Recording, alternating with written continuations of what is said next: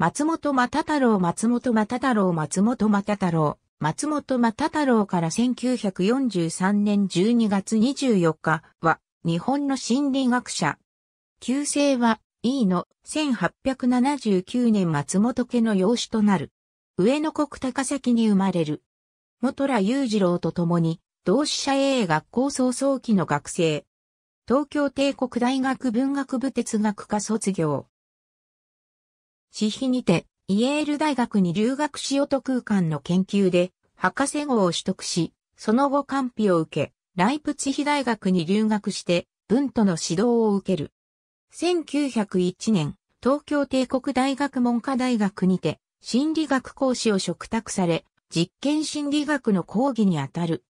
恩師、元良裕次郎を助けて、心理学の教育と研究にあたり、1903年心理学実験室を東京帝国大学に設立。1906年、新設の京都帝国大学教授となり、心理学講座の新設にあたる。この間、京都市立絵画専門学校校長。元ら死後の1913年、東京帝大教授となり、心理学、倫理学を担当、心理学講座を新設する。1921年1月24日、帝国学士院会員となる。1926年、定年退官。